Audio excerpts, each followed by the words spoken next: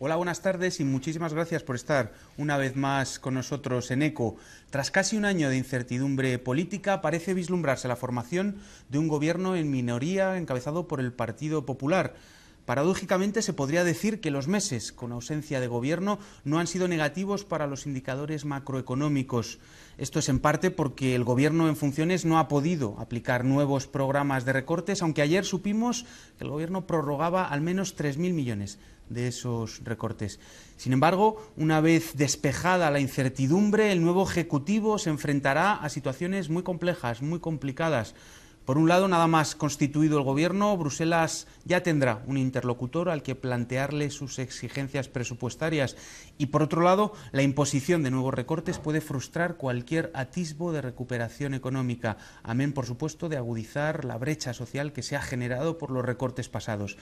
Bien, nosotros nos queremos preguntar qué implicaría un retorno a la austeridad o si tiene margen de maniobra el nuevo gobierno para negociar con Bruselas, con Bruselas o si puede y quiere ese nuevo gobierno hacer algo para revertir la degradación social. ¿Cuáles serían esas herramientas para reducir la desigualdad? Bien, queríamos preguntarnos todos estos elementos con nuestros invitados, con nuestra mesa, pero antes quisiéramos empezar con un vídeo donde Ana Pardo nos va a explicar las implicaciones de la trama Gürtel, porque tiene mucho que ver ese agujero por el cual se han ido buena parte de los ingresos públicos que hoy faltan en la economía española. Vamos a ver, el vídeo y enseguida volvemos para debatir de todos estos temas. Bienvenidos. La verdad es que resumir la, resumir la trama Gürtel es un poco complicado porque, como todo el mundo sabe, es una causa amplísima que empieza en 2009 eh, con, la, con el juez Baltasar Garzón y sigue, continúa ahora con la declaración de todos los imputados. Básicamente, se trata de un caso de corrupción sistémica que afecta directamente a un partido de gobierno que está en este momento en el gobierno en funciones, el Partido Popular, y en el que se dan eh, tres patas: la pata empresarial, la pata política y el, digamos, el lobista entre comillas que es el conseguidor eh, Francisco Correa. Francisco Correa tiene un grupo de empresas que con parte de ellas trabaja para el Partido Popular en tema de marketing, eh, mítines, etcétera, y luego además contacta con empresarios con los cuales tiene muy buenos, muy buena relación y muy buena agenda para eh, conseguir dinero para financiación para el Partido Popular a cambio de la adjudicación de obras. La adjudicación de obras a los empresarios se las garantiza el tesorero del Partido Popular que se llama Luis Bárcenas y que a su vez constituye una pieza separada importantísima del, caso Gürtel porque eh, él tenía cuentas millonarias en Suiza en sí mismo y además llevaba toda la contabilidad B del Partido Popular. La corrupción, por pequeña que sea, eh, tiene unos efectos eh, a corto, medio y largo plazo muy negativos para cualquier, para cualquier sociedad. La corrupción política muchísimo más, porque estamos hablando de quienes eh, gobiernan las instituciones, se supone que por, eh, por una, algún tipo de, de, motivación de servicio público y al revés, lo que hacen es eh, intentar sacar dinero de forma ilegal gracias al poder que le confieren las, las instituciones. Por lo tanto, cuantitativamente todavía está por ver cuántas decenas de miles de euros, incluso probablemente millones de euros, ha supuesto la trama Gürtel con el caso Bárcenas y con la financiación en Valencia, en fin, todas las con las piezas separadas. Cualitativamente es demoledor. Es demoledor por cuanto supone una fractura absoluta entre la política, las instituciones y los ciudadanos. Con lo cual no hay gobierno que resista, no hay gobierno que resista la confianza de los ciudadanos si está corrompido. Y el gobierno del Partido Popular está corrompido. El Partido Popular, eh, pese a que es verdad que sigue ganando elecciones, ha perdido 3 millones de votos desde el 20 de diciembre. Es verdad que en las últimas elecciones del 26 de junio ha mm, recuperado casi 800.000. En cualquier caso, eh, la corrupción le ha afectado poco, eh, en mi opinión y seguramente en comparación con los casos que estamos sabiendo, pero hay que tener en cuenta que el Partido Popular es, tiene una dinámica eh, de mucha unidad donde no caben las fracturas y la derecha en España está muy, muy, muy centralizada. No, no, existen partidos dispersos. Apenas se intentó con Ciudadanos cuando precisamente salió esta corrupción, pero se está viendo que conforme los temas de corrupción eh, pertenecen al pasado temporal, pues Ciudadanos está volviendo a su lugar original, que era el Partido Popular. Con lo cual, más que, más que mm, digamos, responsabilidad del Partido Popular eh, de seguir ganando elecciones, eh, la responsabilidad está de quienes no dan alternativas lo suficientemente consistentes como para eh, ganar al PP y acabar con la corrupción en las instituciones. No va a tener consecuencias porque el Partido Socialista, que podría, que, puede ser el único que bloquee el gobierno, al final ha aceptado eh, oficiosamente, porque aún no lo han hecho oficial, pero es un hecho ya, han aceptado abstenerse y darán el gobierno al Partido Popular, precisamente porque ellos son también rehenes de sus propios casos de corrupción que Rajoy sea el presidente del gobierno, sí es verdad que, supone un condicionante eh, para los acusados. Eh, ellos mismos lo, admiten de puertas hacia adentro, jamás de puertas hacia afuera. El presidente del gobierno en España es una persona con muchísimo poder, eh, con muchísima influencia, está demostrado en, la justicia y además los, métodos del Partido Popular son intentar influir sobre todo. No, el Partido Popular no entiende la separación de poderes, lo hemos visto con los casos de, las eh, grabaciones del ministro del Interior y tratan de influir en la, en la justicia y en lo que sea para garantizarse eh, salir lo más limpios posible y a pesar de todo mira lo que sabemos. Mariano Rajoy es una pieza importantísima de, la historia del Partido Popular, por supuesto la financiación del Partido Popular y vamos, todo el mundo sabe que presidiendo un partido imputado eh, parece muy complicado que en otras eh, democracias europeas siguiese al frente del gobierno. Uy, perdón, os había visto. Bueno, pues eh, muchísimas gracias a Ana Pardo, directora de Público, porque creo que ha hecho un dibujo perfecto de cuál es la situación actual de este gobierno en funciones. Para ello teníamos, eh, para discutir de todo esto, teníamos, como decíamos al principio, una mesa de lujo, unos invitados que nos van a permitir ir debatiendo de estos elementos. En primer lugar, voy a pasar a, presentarlos. En primer lugar, tenemos a Mónica Melle, profesora de la Universidad Complutense de Madrid y también de miembro de Economistas frente a la Crisis. Bienvenida, muchas gracias por estar con nosotros. Hola, buenas tardes, encantada. También tenemos a Juan José de Lucio, director del área de Economía y Empresa de la Universidad de Nebrija y además presidente de Análisis Económico e Inteligencia. Bienvenido y muchas gracias por estar con nosotros. muchos temas encima de la mesa. Muchos, vamos a debatir de todos ellos. También tenemos a Nuria Alonso, miembro de Econo Nuestra, además profesora de la Universidad Rey Juan Carlos. Muchas gracias y bienvenida. Muchas gracias. Pues si queréis, Vamos a empezar con un pequeño minuto acerca de estos retos económicos a los que nos estamos enfrentando, los retos económicos de la legislatura, que entre otros, bueno, pues eh, son parte de estos de, los que nos comentaba Ana Pardo, pero sobre todo, decidnos, en vuestra perspectiva, cuáles serían los retos de esta primera legislatura, si quieres... Eh, pues, a ver, enlazando con lo que Ana Pardo ha comentado, el tema de los contratos es un tema que preocupa a Bruselas. Una de las exigencias que Bruselas ha, puesto es que hay que revisar el control de cómo se lleva a cabo la contratación. O sea, no se fían de nosotros. Es un escándalo y, de hecho, el propio Gobierno ya en lo que ha mandado el viernes pasado, el, el plan de presupuestos para 2017, pues ha introducido un capítulo importante de medidas para garantizar la publicidad de los contratos, para garantizar la buena gobernanza en la hora de la contratación para bueno, garantizar que no haya corrupción. Es, paradigmático, curioso, ¿no? que el, Gobierno, eh, que bueno, de alguna manera pues está eh, implicado en estos casos de corrupción, porque se han producido precisamente pues, eh, en, su etapa de Gobierno, pues sean los que vayan a, poner, a poner el fin. ¿no? Entonces, ese tema es un tema importante porque, porque bueno, además condiciona también condiciona también desde el punto de vista cuantitativo ¿no? en los ajustes.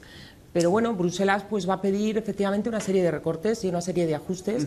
Eh, va a pedir que subamos el IVA, por ejemplo, un tema que está ahí y que, bueno, pues viendo el gobierno que parece que previsiblemente salga, salga después de la investidura, pues, pues probablemente lo lleven a cabo, porque es un impuesto regresivo que mm, ellos pues eh, siempre han visto bien ¿no? el tema de subir el IVA, aunque afecte, ya digo, de manera eh, distinta a, a, las clases mm, más trabajadoras y clases mm, con menos recursos y a las eh, clases más altas. Muy bien, muchísimas gracias, Mónica. Juan José, una primera aproximación a esos temas de debate que nos comentabas al principio. A ver, yo pienso que las tareas que tiene el Gobierno encima de las mesas eh, para la próxima legislatura son las que ha tenido en la anterior y queda mucho por hacer y quizá en la anterior y entre ellas sin duda está el tema de la corrupción. Ya lo señalaba la directora del público el tema de la corrupción es vital porque la corrupción resta crecimiento a todas las economías. La confianza entre agentes económicos, la separación de poderes son elementos clave.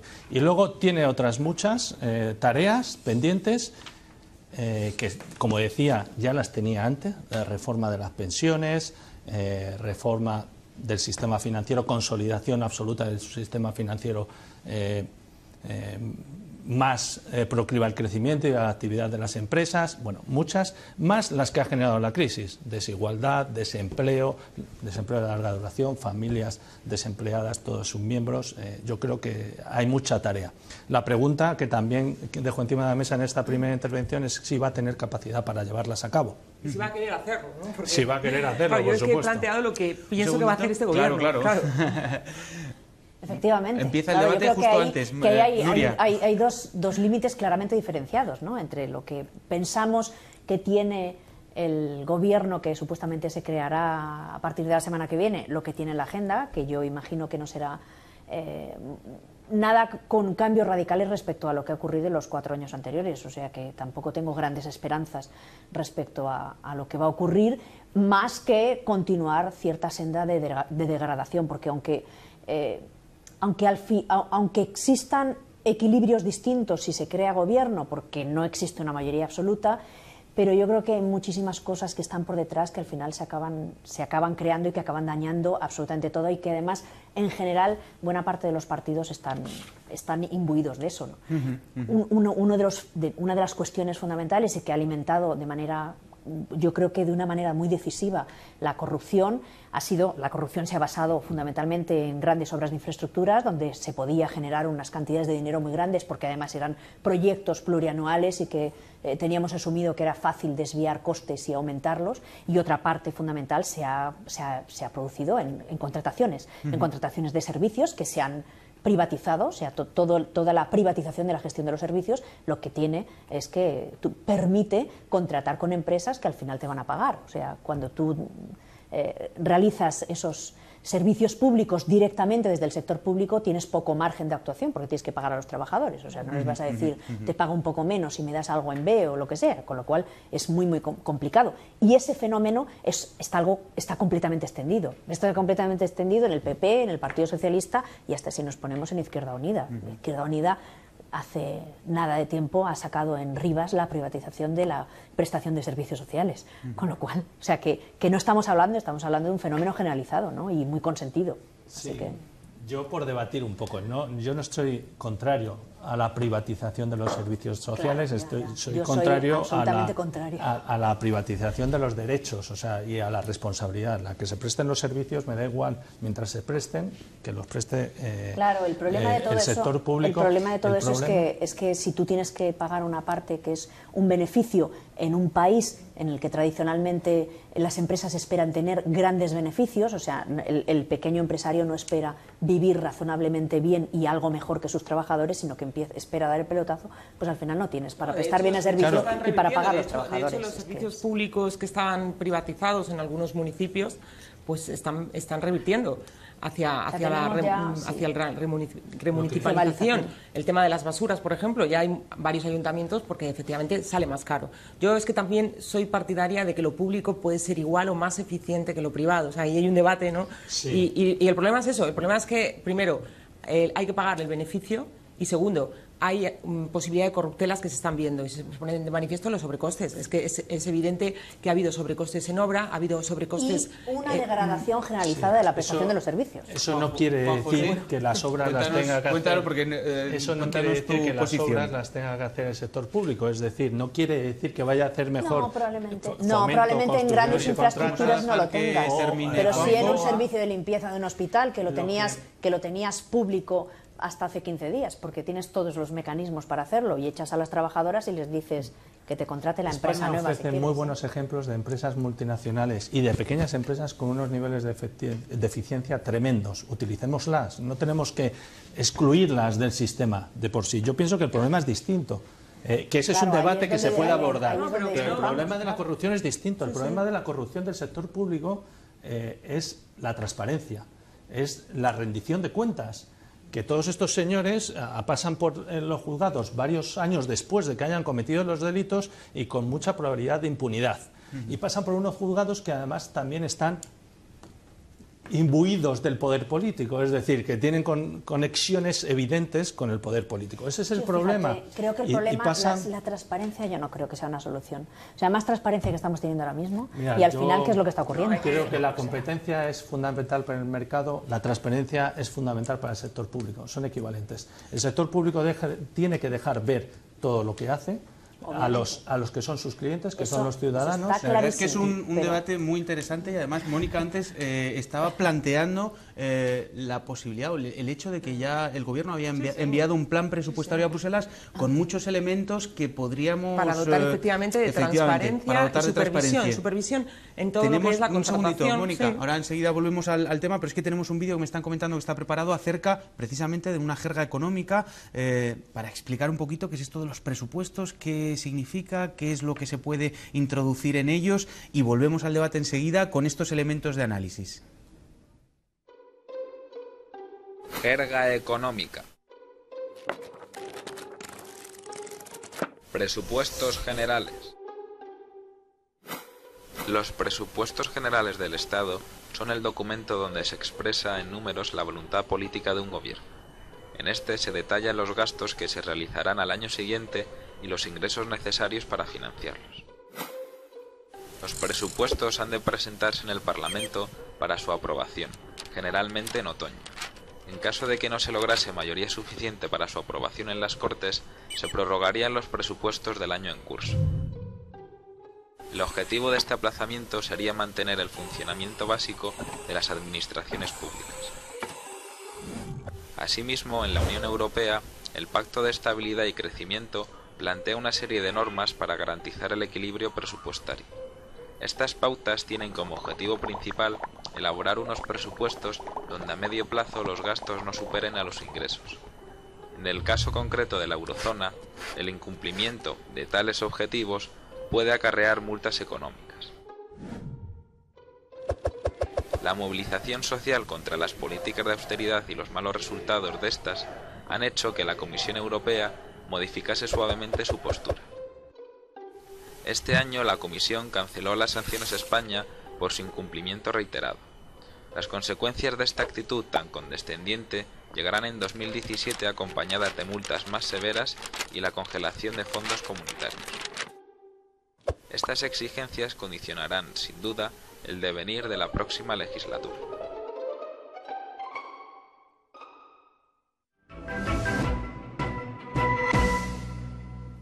Bueno, estupendo el vídeo donde nos explicaban los compañeros qué es lo que significa el presupuesto y traslado la pregunta.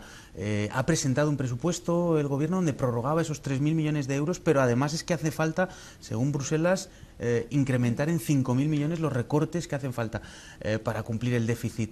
Eh, ¿dónde se puede recortar? Porque parece que hemos llegado al tuétano del estado del bienestar. ¿Dónde, dónde, ¿De dónde se pueden recortar? Se puede sacar más? ¿Por qué tomas esa premisa? Primero, yo lo que veo primero es que la austeridad ha sido eh, letal y además unida a la devaluación salarial ha sido muy contraproducente. Han sido unas recetas que han fracasado han generado más crisis, han generado más desigualdad, que ya hablaremos de la desigualdad, han, generado pues eh, más pobreza, eso ha llevado a que, mm, bueno, si no hay, no hay rentas, si las rentas bajan, la gente no consume y si no se consume, pues baja la demanda y si no hay demanda, pues las empresas tienen menos actividad, pueden vender menos, eso hace que haya más paro, en fin, ha sido todo un círculo vicioso que ha perjudicado mucho la salida de la crisis.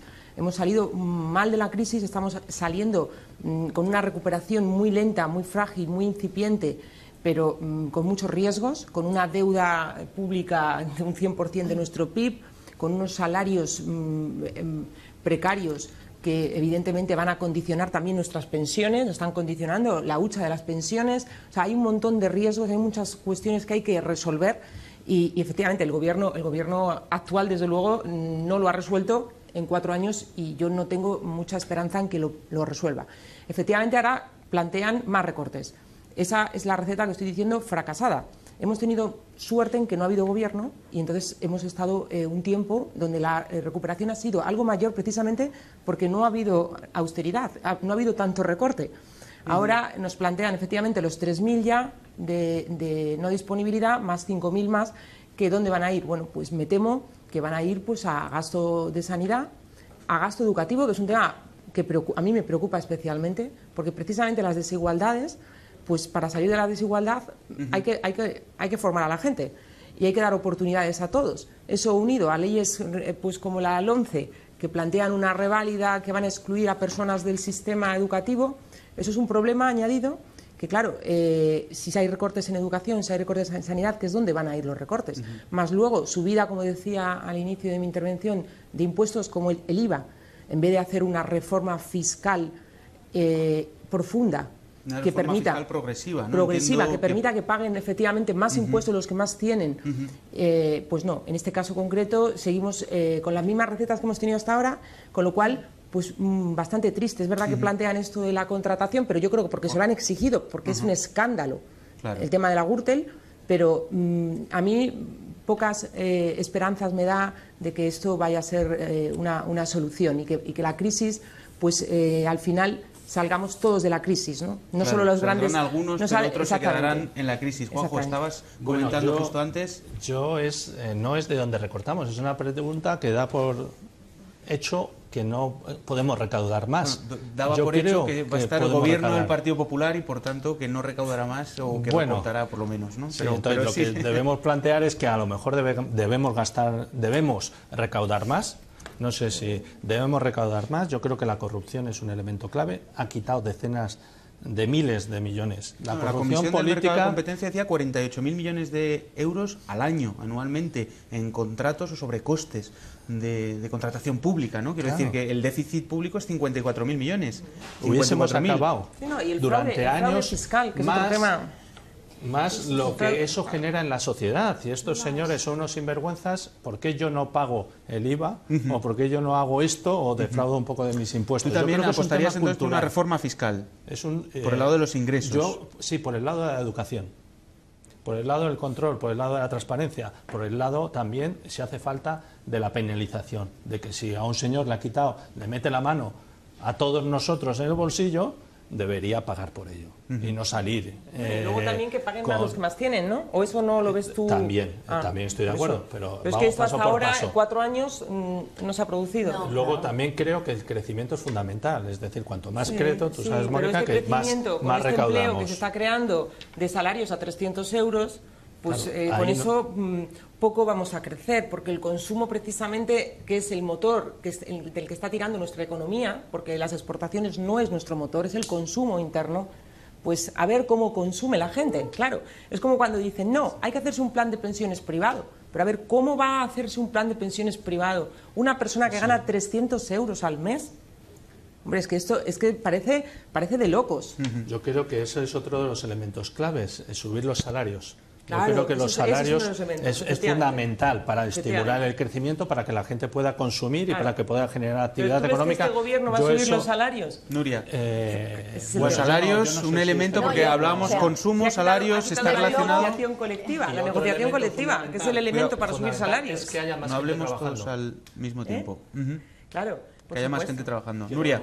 yo, yo, yo creo que, que evidentemente la noticia de que se exijan recortes adicionales es una malísima noticia.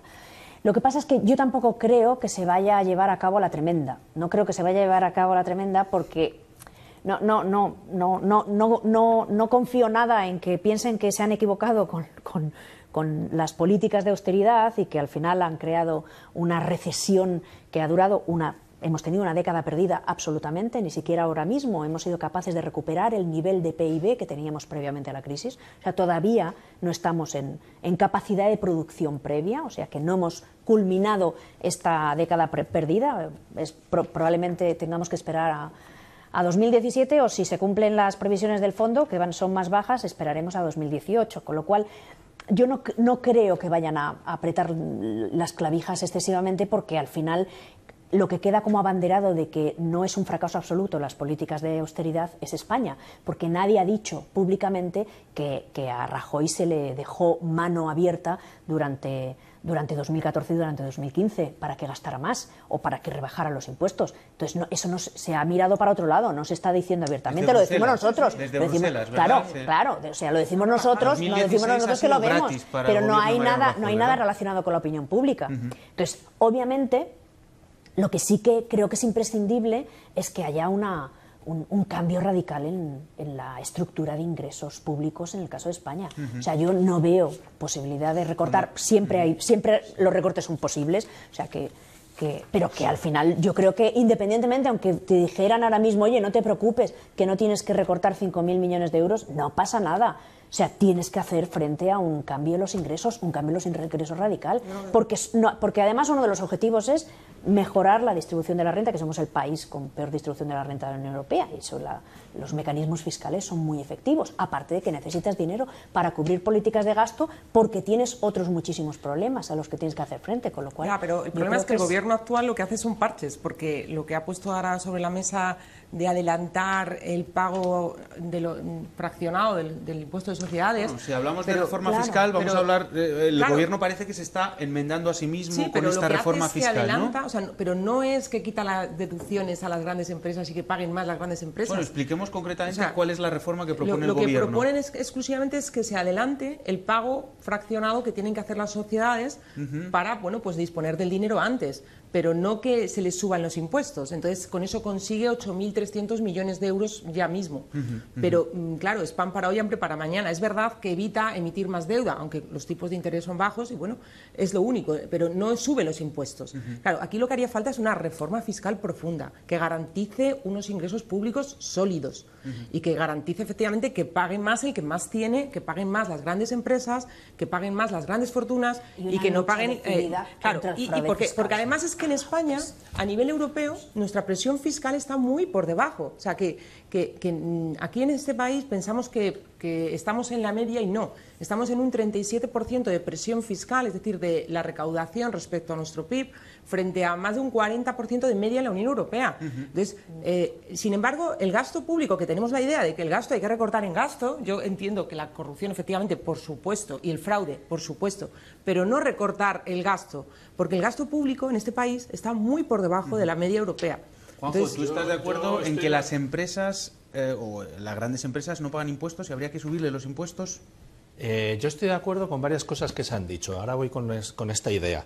Estoy de acuerdo absolutamente con que eh, no va a haber reforma fiscal. No la ha habido cuando tenían mayoría, porque la va a haber eh, en un gobierno interino, porque aunque haya gobierno va a estar muy supeditado a, bueno, a, a mociones de censura, a la opinión pública, va a estar intentando recolectar votos. No va a ser el momento de una reforma fiscal. No van a hacer ninguna reforma fiscal. Van a hacer estos parches, no, no, no, van a prolongar. No, además, ejemplo, Ciudadanos coincide y, y, y, Convergencia y Unión y PNV, o sea que realmente no va a haber una reforma fiscal claro, de ese sentido. Y si, y si hubiese una reforma fiscal, ese sería uno de los puntos, pero eso no es una reforma fiscal solamente española. El que acabas de señalar, el que las empresas paguen los impuestos que le corresponden a España, es una reforma europea. Eh, es decir, ¿cómo es posible que grandes multinacionales de las que todos tenemos aparatos electrónicos o hacemos uso de sus servicios no estén pagando en España por lo que los españoles consumimos? Y por eso, eh, y aquí vamos a tener debate, lo sé, por eso saco el tema, el IVA es un impuesto eh, que, que, en otros países europeos, como tú has señalado, está por encima. Otro, tú has señalado que otros países europeos tienen mayor presión fiscal. Tienen también mayor presión fiscal por el IVA. Pero también en sociedades. Y tiene, ¿eh? También en sociedades. Sí, pero. O sea, que lo, lo que, que, no se ha producido hacer efectivamente es esa homogeneización es que fiscal paguen, que hace falta hacer. que paguen las sociedades Por y que, supuesto. y que las grandes sociedades, Nuria. tú sabes como yo, que casi no están pagando y que los que pagan son los pequeños. Sí, sí, está claro. Es sorprendente, o sea, los pequeños al final están subvencionando a la actividad de las grandes. Eh, y eso es preocupante. Entonces yo digo, hay que hacer una reforma fiscal y hay que eh, pensar que el IVA no es necesariamente un impuesto a los pobres. El Es IVA un es un impuesto regresivo. no necesariamente. Y ahora vamos No, a, el a ese problema- debate. Yo sí estoy completamente convencida de que el IVA es un impuesto regresivo, Sabía pero el hay- problema, pero el problema que tenemos nosotros en el caso de los impuestos, o sea, efectivamente la capacidad recaudatoria que tenemos es muy muy baja. ¿Qué es lo que ocurre con el IVA? El, tipo impositivo que tenemos con el IVA está ligeramente por encima de la media de, la- de los tipos impositivos que tienen todos los países de la Unión Europea. ¿Qué es lo que ocurre? Que somos el penúltimo país, o sea, el, el último es uno de los pequeños de- de la Europa del Este, somos el penúltimo país en capacidad recaudatoria del IVA. O sea, tenemos un impuesto que el tipo impositivo es alto, y que al final tiene una capacidad recaudatoria que es absolutamente lamentable. Eso, eso es un fenómeno generalizado en todo el sistema impositivo español. O sea, los tipos impositivos normativos, los tipos impositivos que establecen las normas de los impuestos, son relativamente altos para luego la capacidad recaudatoria que Claro, tenemos, que es muy, muy En el baja. IVA lo que hay que hacer para revertir esa tendencia es eliminar los tipos reducidos y No, superreducidos lo que a los tienes que, se hacer, graban lo que algunos tienes que bienes de hacer es recaudar el IVA, ¿no? efectivamente. O sea, al final eso crea, eso crea un- una dualidad. La dualidad que se produce en el caso del IVA en España es muy perversa. Porque hay, hay una parte de población, empresas, etcétera, que está trabajando con un 21% más baratos que los otros que sí que están pagando el IVA y que sí que están pagando ese sobrecoste. Entonces, al final lo que tienes es, o sea, tienes ahí un problema, un error de salto fundamental. Entonces, lo que que es, refiriéndose a empresas, no sé, por dar algún nombre de McDonald's, bueno, lo hemos visto con Apple, lo hemos visto con, con Google, en Hombre, fin, sí, que hacen claro. una ingeniería fiscal Sí, de pero forma es que que eso- incluso se les devuelve, les salen, ya- tienen bases dos negativas, ¿no? la- no está claro, pero, pero eso efectivamente hay que perseguirlo a nivel europeo y yo diría más, a nivel mundial. Pero ¿no? Porque los paraísos- hay paraísos fiscales que también, pero a efectivamente, pero lo que no puede decir uno, bueno, que me lo resuelvan todo en Europa y cuando se eliminen paraísos fiscales, por supuesto, hay que luchar contra ello. Pero aquí, a nivel España, nosotros no podemos permitir que las grandes empresas tengan un tipo real cero cuando son las pymes, efectivamente, las que están pagando tipos impositivos elevados. Claro. Esto no puede ser y no me vale que se haya la de- deslocalización, no. No vale. Y por otra parte, el IVA. El IVA lo que hay que efectivamente es luchar contra el fraude. Eso estoy totalmente de acuerdo. Pero no subir los tipos y sobre todo de los productos reducidos, eh, que tienen IVA reducido, y de los productos de consumo eh, habitual, básicos. Puedes subir el IVA de productos de lujo y ahí estamos también con un Ahí sistema que sea mm, un sistema ¿no, que sea Mónica? progresivo, efectivamente. ¿En qué sentido? Eh, que hay, en la medida que los que más renta tienen eh, consumen productos que están grabados Sí. a mayor tasa impositiva, hay un pago superior de los que más renta tienen. Sí, por como eso. gastan No, más, sí, los que tienes- no, pero Ah, como que a gastan tipo más, bajo, sí. Ah, no, los que- en los el no. renta- Chocolate del oro. Bueno, es el chocolate del oro. Eh, ahí puedo estar de acuerdo, pero tú sabes que la renta de las familias más desfavorecidas se centra en consumos que tienen IVA reducido. Por lo tanto, el tipo medio que pagan de IVA es inferior al tipo medio que pagan de IVA la gente que tiene yates o que tiene Ferraris. lujo, yo estoy de Ahí hay un grado de distribución. de lujo. Pero, Totalmente de acuerdo. No, pero el- la política de distribución, a través del lado de los ingresos, se ha mostrado muy débil, muy débil. Tiene que ser una política de redistribución al- por el lado de los gastos, Hombre, por el lado de la ayuda social eh, y no por el lado de yo le voy a quitar más al que más tiene. No, lo solamente. que pasa es que hay que subir los ingresos públicos para Es- poder hacer políticas públicas. El problema del Claro. gobierno que tenemos, que tristemente es el que vamos a tener, pues que es un gobierno que no cree en los servicios públicos y que lo que cree es en la iniciativa privada, y es decir, que la educación sea privada, que la sanidad sea privada y que cada uno, pues, eh, individualmente pues cubra sus servicios. Hay- hay- Es un modelo distinto de sociedad al que, al que muchos eh, Hay nos que subir los ingresos. Es decir, subir ingresos para tener una sanidad pública que garantice la cobertura universal, para tener una educación pública de calidad y no lo que estamos teniendo ahora mismo, que tristemente muchos estudiantes universitarios están dejando los estudios. Esto además es un, esto tiene un efecto también en el crecimiento, porque el problema de nuestro modelo de crecimiento es que estamos diciendo tenemos que cambiarle y tenemos que lograr pues eh, eh, sectores de alto valor añadido, gente muy preparada, gente muy cualificada. Bueno, si nosotros no apostamos por la formación o por la investigación y el desarrollo, ¿cómo vamos a cambiar ese modelo? Bueno, pues por eso digo que estas políticas son, eso sí que es despilfarro. O sea, yo la austeridad Eh, esto, esto, es esto es despilfarro. O sea, recortar en educación es despilfarro. Y excluir a gente de los sistemas despilfarro, porque estás dilapidando capital humano, que es lo más valioso que tiene una sociedad. Y eso ha sufrido mucho durante la crisis y es una de las reformas pendientes. La cuestión es si estamos o no estamos saliendo. Enseguida, Nuria, te doy la palabra, pero tenemos eh, preparado un vídeo para ah. poder eh, bueno, dar más elementos de debates acerca de cuál es la situación económica en la que está en la que estamos en estos momentos en España. Algunos dicen que estamos saliendo de la crisis, otros dicen que estos recortes podrían afectar a esa potencial salida de la crisis, pero bueno, en definitiva está en disputa esta situación. Vamos a ver el vídeo que nos han preparado los compañeros para continuar este animado debate.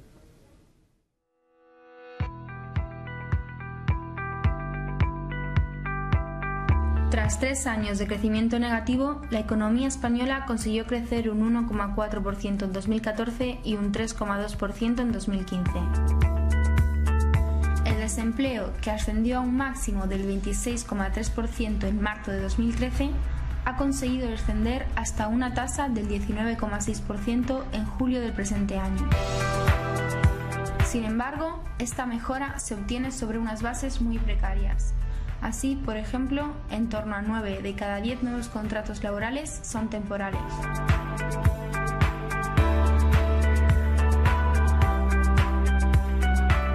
Los recortes de gasto público, centrados en educación, sanidad y servicios sociales, solo han servido para que la deuda pública se haya más que duplicado desde 2009. Mientras, la capacidad en cuanto a recaudación de ingresos del Estado se mantiene en niveles equivalentes a la de países como Bulgaria o Letonia, con un 38,2% del Producto Interior Bruto en 2015. Como colofón, España ostenta el dudoso honor de haberse convertido en la última década en uno de los países más desiguales de toda la Unión Europea.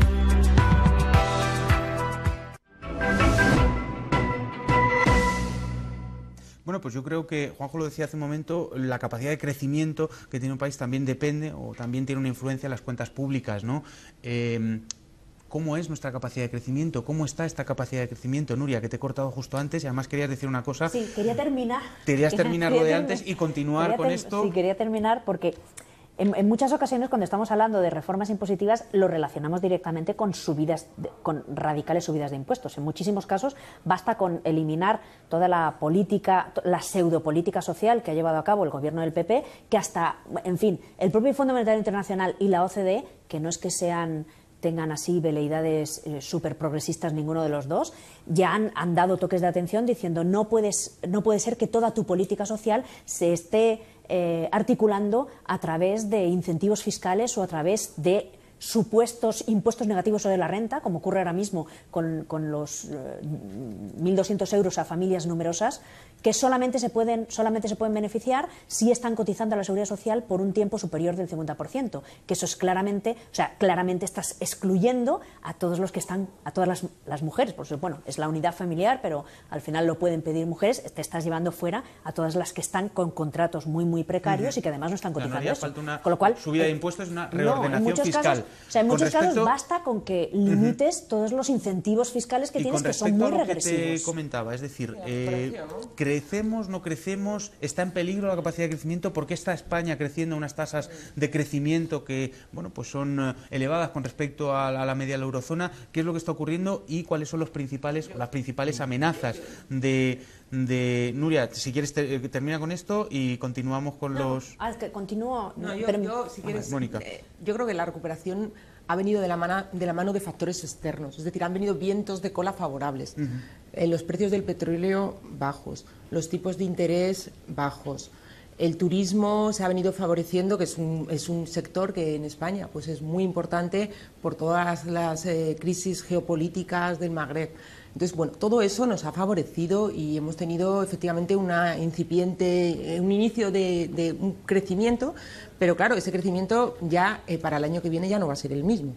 O sea, este año efectivamente podemos llegar al 3%, pero el año que viene ya 2,3% es lo que nos pero dicen. Sí, son tasas de crecimiento elevadas. Sí, estamos, bueno, elevadas. Bueno, es un crecimiento mm, leve, es un crecimiento leve que permite crear empleo, mm, poco empleo o empleo muy precario, mal empleo, de mala calidad Y bueno, lo que sí que es verdad es que hay muchos riesgos, o sea, que ese, ese crecimiento, eso de que con ese crecimiento van a, vamos a tener unos ingresos tremendos, no, a ver, de ingresos sobre el- el- la renta de las personas físicas, estamos diciendo cuáles son los, los, eh, los salarios que tenemos, cuál ha sido la devaluación salarial, cuáles son los nuevos contratos, que son, como ha dicho muy bien el vídeo, contratos temporales, contratos precarios. Esto da poco, da poco ingreso eh, de recaudación por parte de la renta. Pero es que luego tenemos también el problema de, del- del- bueno, pues de nuestra deuda pública, que ahora tenemos unos tipos de interés muy bajos, pero tenemos un 100% de nuestro PIB de, de deuda pública. Si los tipos de interés suben, ahí vamos a tener unas cargas financieras en nuestro presupuesto que, que nos van a condicionar mucho este, este, este, este crecimiento, esta- esta- esto, esto que estamos diciendo de que sí, que con el crecimiento ya todo... Juanjo, va. ¿estás Y luego, hay, y luego hay otro tema que a mí me preocupa, que es el tema de las pensiones y el tema de las prestaciones por desempleo. Claro, las prestaciones por desempleo ahora mismo cada vez hay más personas que no tienen ninguna protección. Sí. Y tenemos ahí también otro agujero de, de gasto público y el tema de las pensiones. El tema de las pensiones, con la hucha de pensiones que tenemos el mayor déficit de la historia en nuestra seguridad social, 18.000 millones de euros. Y en el cual, pues claro, ya nos dice el gobierno, por eso digo que tengo poca esperanza y poca fe en este gobierno, nos dice en que suban salarios, en que suban pensiones, nos dice que no, que la subida eh, según el IPC, que no que, van a subir pues el 0, coma no sé qué por ciento, pero que por supuesto ni siquiera igual que el nivel de vida. Juanjo, Entonces, Yo estoy de acuerdo Capacidad de con muchas cosas que ha dicho Mónica. Eh, El crecimiento en gran parte ha sido impulsado por factores externos, los ha relacionado. Eh, petróleo, tipos de interés, eh, turismo. Estoy de acuerdo. Sumaría otro que dijo antes, la falta de gobierno. Yo sé que todo el mundo dice, no, el gobierno, que no haya no gobierno nos ha afectado positivamente a la evolución Yo macroeconómica. soy de la opinión de que la falta también. de gobierno, y podemos entrar, sí, más vale, eh, Sí. porque podía, Pero sí. la falta de gobierno, Porque la falta de este gobierno. ¿Cuál de las dos? este, de este, yo Bueno. de este, de este gobierno por el tema de la austeridad que estaban eran Claro, primero no ha habido tanta talibanes. política de austeridad que has dicho tú antes. Ojo, Eh, sí, yo creo que ha prolongado. ¿Y cuál es la alternativa a la falta de gobierno? Es lo que me pregunto yo. Eh, la alternativa a la falta de gobierno no es un gobierno milagroso que va a hacerlo todo bien, que va a hacer la reforma de educación, que va a hacer la reforma fiscal, que va a corregir el, el déficit de las pensiones. No, la alternativa en este momento no era esa. No era esa. Era probablemente más inestabilidad, más conflicto social, más y eso tampoco apoya. Entonces yo pienso que además hemos demostrado que la economía española tiene un sistema administrativo independiente de los políticos que funciona. Sin gobierno ha funcionado todo. Y, Y tenemos unos funcionarios públicos que han mantenido si hay y gobierno- tenemos unas empresas ¿sí? Que lo han hecho muy bien. Perdonar, yo creo que tenemos grandes empresas en este país y tenemos grandes trabajadores formados, los mejores trabajadores que probablemente hayamos tenido en la historia. Y no solo grandes, pequeñas. Yo diría más bien, tenemos unas pequeñas empresas dinámicas Sí, que están Cuando están decía grandes me decía, a me grandes no de decía- tamaño. No, pero hay, Sí. no, y hay grandes, hay Hablemos grandes uno a uno. empresas Sí, con una capacidad de producción y con una eficiencia, o sea, en eso yo no creo que, que andemos a la zaga en benefician sitio. también Sí, de que sí. tenemos esas empresas grandes se benefician Sí, de que tenemos creo. medianas empresas Si ya muy pagaran, productivas si ya pagaran sus que impuestos, serían francamente la, la- serían ya sería un lo milagro, más. ¿no? Y entonces la economía española ha crecido, llevaba muchos años que ha sufrido muchísimo, estaba comprimida, y efectivamente ha, rebotado. Y yo creo que ese rebote, porque cuando la economía española se pone a funcionar, yo soy optimista en esto, quiero ser optimista, vamos a mantener un buen ritmo de crecimiento en el año 2017 en torno al 3%. Yo creo que es bueno. Tampoco me quiero ir a un 6% porque eso recamentaría. El, el gobierno dice un 2,3. ¿eh? Sí, sí, ya lo sé, pero yo creo que vamos a ser. También decían que íbamos a crecer el Fondo Monetario Internacional un 2,6 y ahora dicen un 3,1. Sí, lo que pasa es que creo el, gobierno, que hay, el gobierno siempre tira, tira al alza más bien. Por eso le regañan en en, Bruselas. los, en los últimos años ha ido, ha ido actualizando sus no previsiones soy- al alza. Yo no soy tan optimista, ¿eh? O sea, Yo lo que soy- tenemos. O sea, es relativamente. Vuelvo otra vez a la misma idea de antes. Al final, lo que, lo, que nos dicen los datos de, de, la contabilidad nacional es que el PIB ha caído un 9% desde el, desde el inicio de la crisis hasta 2013. El empleo ha caído más de un 17%. Con lo cual, o sea, con, con ese nivel de caída de lo que nos está diciendo la propia contabilidad No hemos nacional. todavía que- alcanzado el nivel precrisis de no, no, no, producción. no, todavía no hemos De alcanzado. el nivel producción de- sí, de empleo no. De empleo, No, no, de producción tampoco. Si De- coges los de datos del producción fondo, estamos ahí. estamos justo, estamos justo a punto de cogerlo, pero Claro, todavía pero no. porque todavía son no. ya, ¿cuántos? Nueve años después de la, del empiezo Sí, de sí, la o sea, crisis, no, no, cuando logramos recuperar es o estamos cerquita de recuperar auténticamente una década ¿no? perdida. Y eso teniendo en cuenta que, que ya hay, bueno, que ya hay varios papeles que yo he leído que me han parecido más que razonables respecto a que la propia medición del PIB acaba, en la propia forma de elaboración, acaba teniendo cierto sesgo para que no caiga todo lo que debería haber caído. O sea que probablemente si tuviéramos otra estimación, o sea, no es una cuestión deliberada en absoluto ni nada por el estilo, sino que es un problema estadístico que al final acaba habiendo como cierto sesgo a que caiga todo lo que probablemente, o sea, que esa caída del 9% podría ser incluso algo superior. O sea, con una caída semejante, el tener un rebote del 3%, pues a mí no me parece que sea Es nada. aplanar el crecimiento. Por Sí, lo pero eso tanto, es lo en las ten- etapas sí. expansivas también dice que crecemos menos de lo que deberíamos, de lo que verdaderamente De todas formas, a mí lo que más me preocupa es el paro. O sea, a mí la tasa de paro es lo que más me preocupa porque incluso el propio gobierno reconoce que se van a mantener unas tasas pues, de un 19%, pero incluso eh, por unas, unas estimaciones mm, muy optimistas, porque eh, diversos eh, departamentos de estudios, como pueda ser FUNCAS o bueno, como otros, otros, depart- otros eh, eh, departamentos de coyuntura, mm, estiman que es muy optimista. Entonces, ese es un problema, porque aun, aun creciendo con este empleo, creando este empleo que es un empleo precario, pues todavía estamos con una tasa de desempleo muy elevada y eso también es otro riesgo. Por no hablar también de la desaceleración que se está produciendo en la economía mundial y europea, el, el riesgo también del Brexit, que tendrá sus efectos. Entonces, bueno, yo quiero ser optimista, yo creo que ya hemos salido de lo peor, eso es cierto, pero mm, estamos en una fase de recuperación muy frágil. Haría falta un gobierno muchísimo más valiente que apostara por estas grandes reformas que estamos hablando, fiscal, educativa, que abordara el tema de la desigualdad, porque Vamos es otro problema que tema, tenemos. Porque es cierto que habéis estado describiendo. Sí, déjame introducir el tema y enseguida volvemos a- al hilo. Pero la cuestión es que estamos eh, hablando de cuál es la situación económica, pero bueno, parece que la crisis está dejando cicatrices o tiene unos efectos que pueden durar más allá de, del- de, digamos, de- del repunte del crecimiento. Es decir, que pueden durar varios años. La destrucción productiva que ha sufrido España. Eh, ¿Cómo se pueden revertir estos, eh, esta situación de desigualdad social, de incremento de la pobreza, de la desigualdad? Es decir, ¿qué medidas se podrían tomar y si serían efectivas? Es decir, si no son eh, cuestiones irreversibles, ¿no? Y te doy la palabra a ti. Yo enlazando con lo que decía Mónica, yo, yo creo que hay, ahí hay un problema además que es no, no, es- no es tanto revertir como el hecho de que dices, nos planteamos si hay recuperación, vamos a dejar matices de si nos hemos recuperado de verdad o no nos hemos recuperado de verdad. O sea, realmente recupera, la recuperación no existe porque tú no tienes ningún modelo. Primero, como recuperación, Recuperación como, término de volver a la situación inicial, eso no existe. Es evidente que no vamos a volver a la situación inicial y además tampoco es, tampoco es que la situación inicial fuera la panacea. Entonces, en- lo, único que tú has hecho ha sido poner lo que tú pensabas que eran unos determinados parches para conseguir que esto empezara a funcionar, que al final esos parches lo que han conseguido es que se alargue todo hasta que hayan pasado 10 años y no hayamos sido capaces de recuperarnos.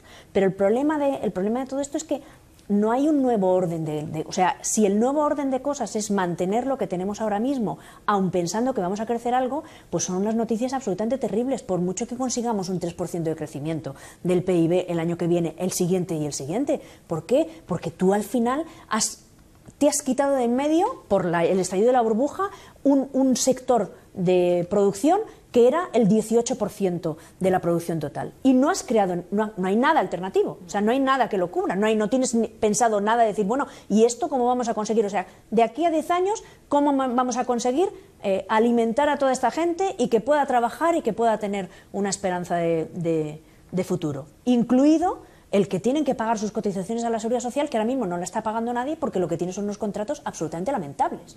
Entonces dices, eh, esto es todo el plan, que se te- esto es todo lo, lo que tenemos. El- el- en el mejor de los casos, continuar por aquí, porque no hay, o sea, no hay, no hay ningún proyecto, no hay nada. ¿Y Lo cuáles que serían hemos- los sectores donde se podrían crear o generar suficiente actividad económica para absorber esa bolsa de desempleados que ha generado la crisis y que parece que no hay fuentes de demanda alternativa para reabsorber. ¿De dónde se puede sacar? ¿Es posible que se pueda sacar sin la ayuda del sector público? Es decir, sin el impulso del sector público, es decir, sin la inversión del sector público. ¿El sector privado es capaz en España ahora mismo de absorber o de crear eh, suficientes empleos para absorber o para reducir de manera significativa la tasa de desempleo? Hombre, el sector público si ayuda mejor pero yo he de decir que el sector privado también es muy dinámico ¿eh? y, va eh, adaptándose y va buscando estos nichos, estas nuevas eh, actividades, estos nuevos sectores.